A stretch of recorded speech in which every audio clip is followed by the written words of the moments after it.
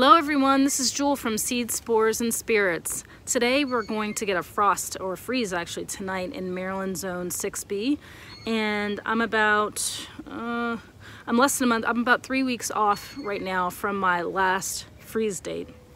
So um, I've got to make some plans as to what I'm going to do. I already have plans, I've already known, I always have a game plan for what I'll do if and when there's a freeze or a frost. Um, but I wanted to share that here with you.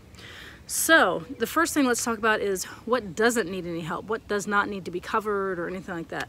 All of your perennial herbs that you already have in the ground, your leafy greens for the most part don't need any help.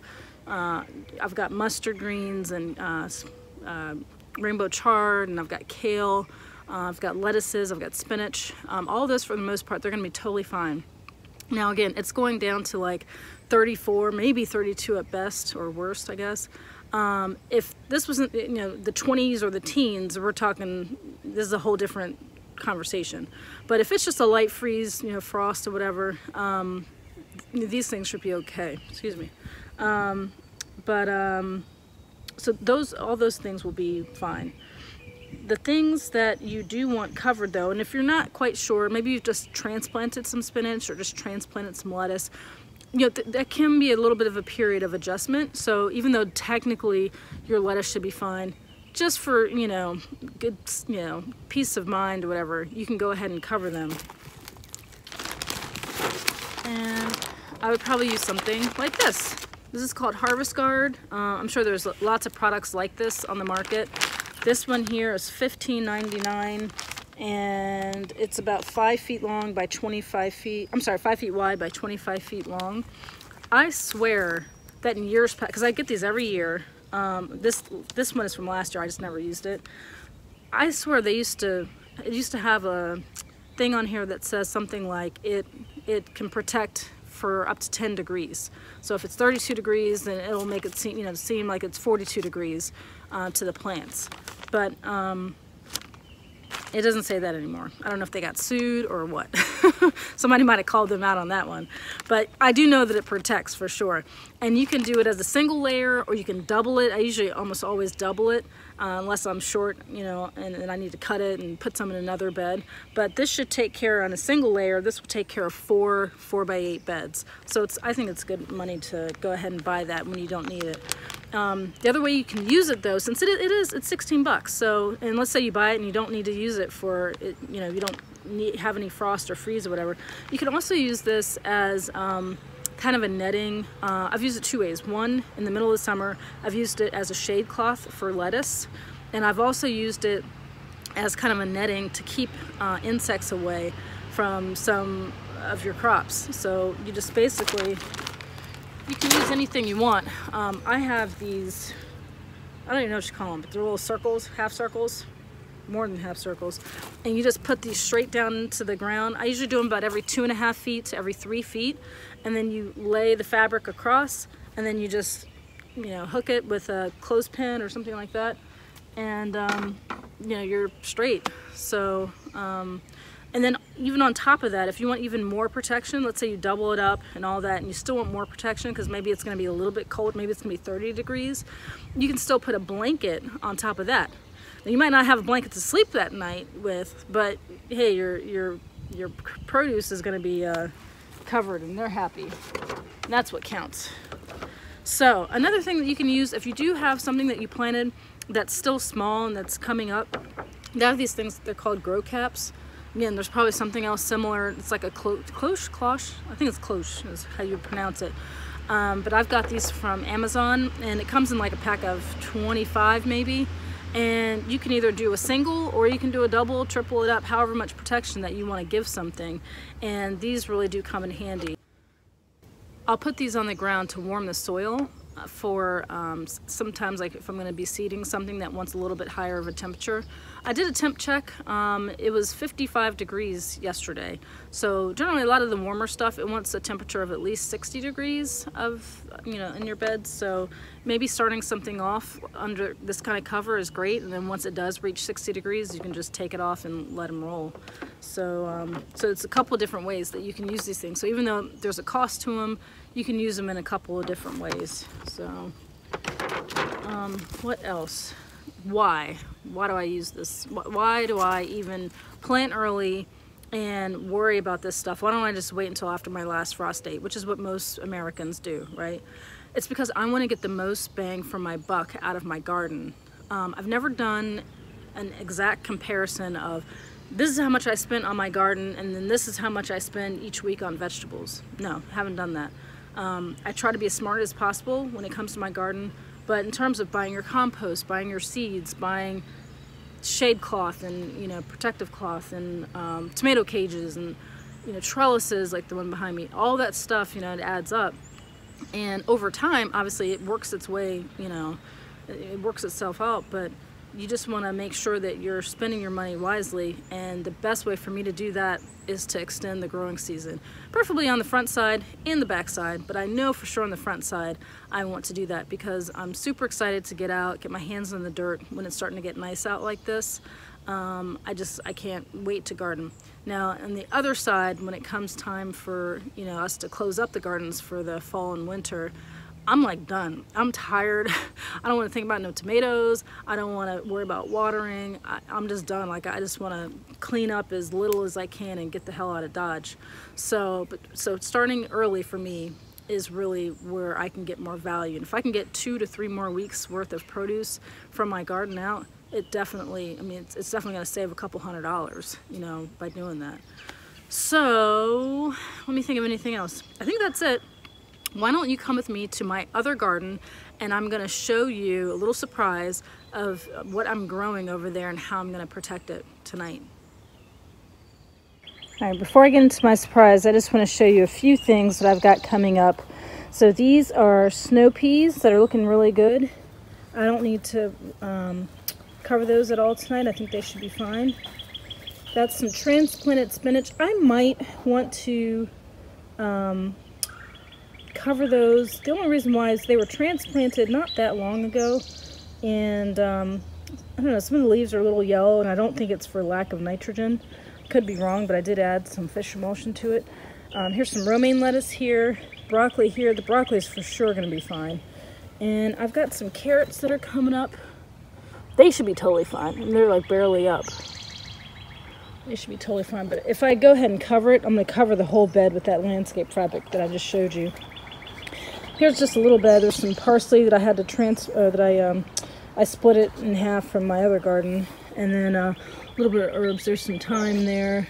A couple of things of, uh, little teeny things of green onion that they'll grow in no time.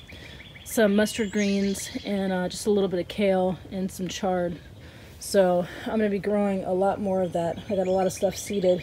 I've got potatoes back there. Ooh, yes, potatoes is something that I'm definitely going to have to cover.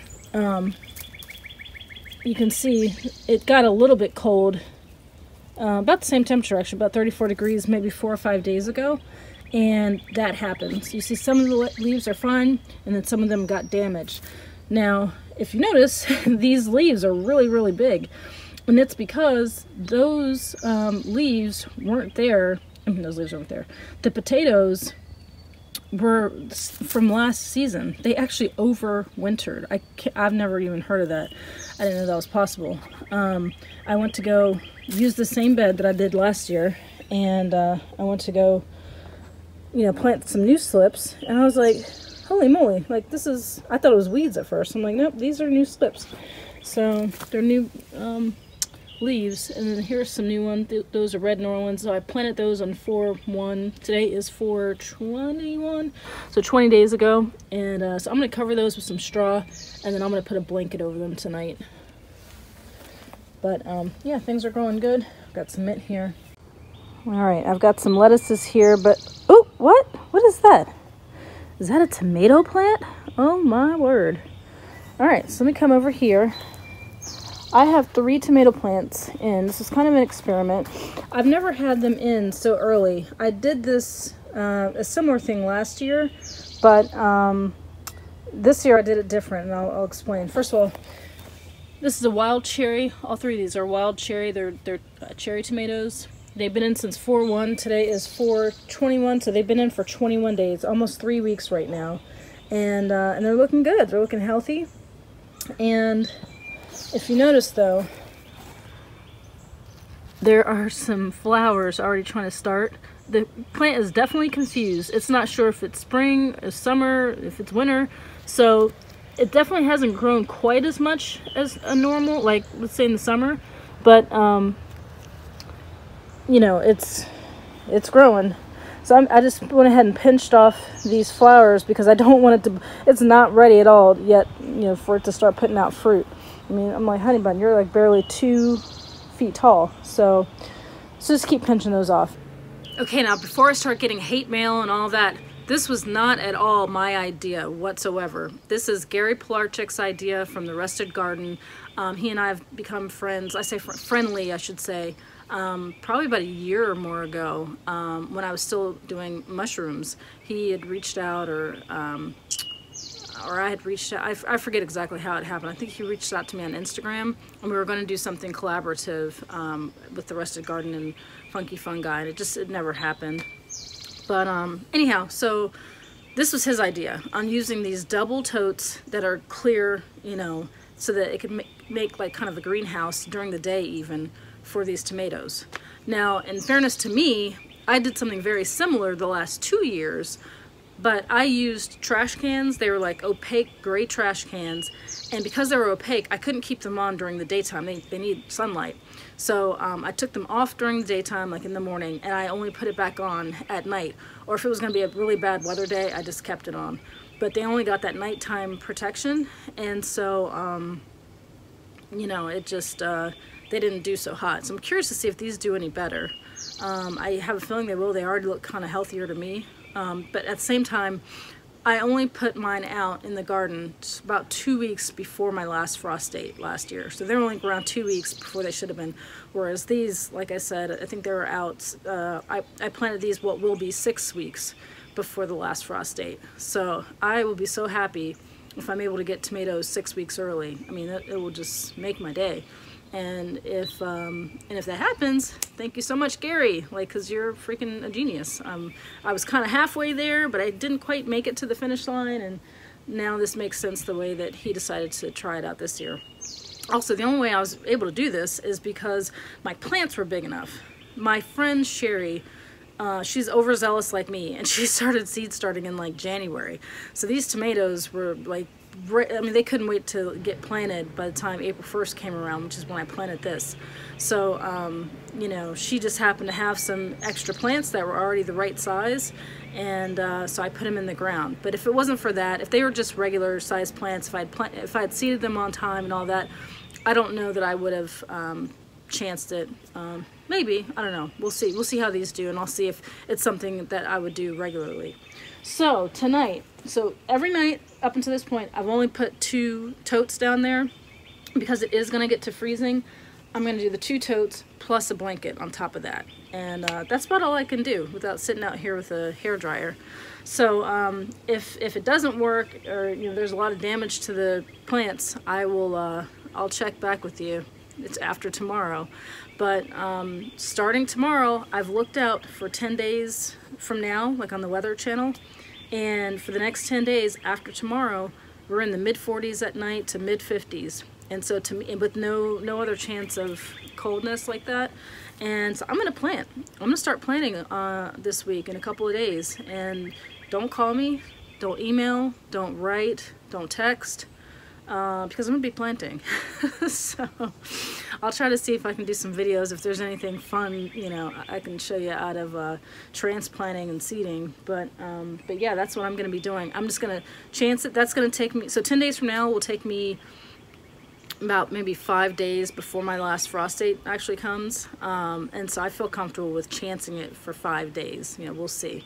But uh, I, I feel I feel good about that.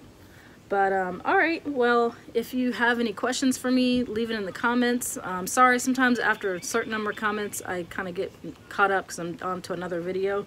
But um, yeah, anything that you saw today, like the shade cloth and those cloches, cloche, cloches, um, stuff like that, they're all on my kit page. Um, it's kit.co slash spores spirits right, spores, so seeds, spores, and spirits. Oh my goodness, it's gonna take me a minute to get used to this new name.